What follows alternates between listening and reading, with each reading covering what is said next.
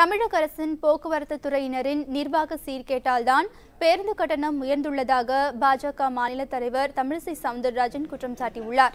பரமக்குடியில் செய்தியாளர்களிடம் பேசிய அவர் பேருந்து கட்டண உயர்வால் ஏழை எளிய மக்கள் நடுத்தருவில் இறங்கி போராட வேண்டிய அவலநிலை ஏற்பட்டுள்ளதாகவும் கட்டணம் இருபது முதல் ஐம்பத்தைந்து சதவீதம் வரை உயர்ந்துள்ளதால் பொதுமக்கள் பெரிதும் சிரமத்திற்கு ஆளாக்கப்பட்டுள்ளதாகவும் தெரிவித்தார்.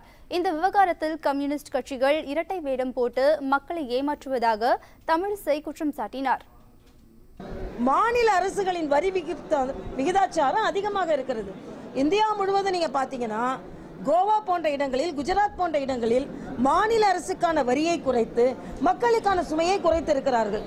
ஆனால் தமிழகத்தில் சட்டமன்ற உறுப்பினர்களின் ஊதியத்தை உயர்த்துகிறார்கள் நிதி பற்றாக்குறை என்று சொல்லிக்கொண்டு ஆனால் பெட்ரோல் டீசல் விலையோட விலையை மாநில அரசு தங்களின் பங்கை குறைத்து மக்களுக்கான சேவையை செய்யலாம். அதை ஏன் செய்யவில்லை என்பது எனது கேள்வியாக இருந்து கொண்டது முக்கிய நிகழ்வுகளை அறிந்து கொள்ள காவிரி நியூஸ் யூடியூப் சேனலை சப்ஸ்கிரைப் செய்யுங்கள். உடனுக்குடன் செய்திகளை தெரிந்து கொள்ள காவிரி நியூஸ் சமூக வலைதளங்களோடு எப்போதும் இணைந்திருங்கள்.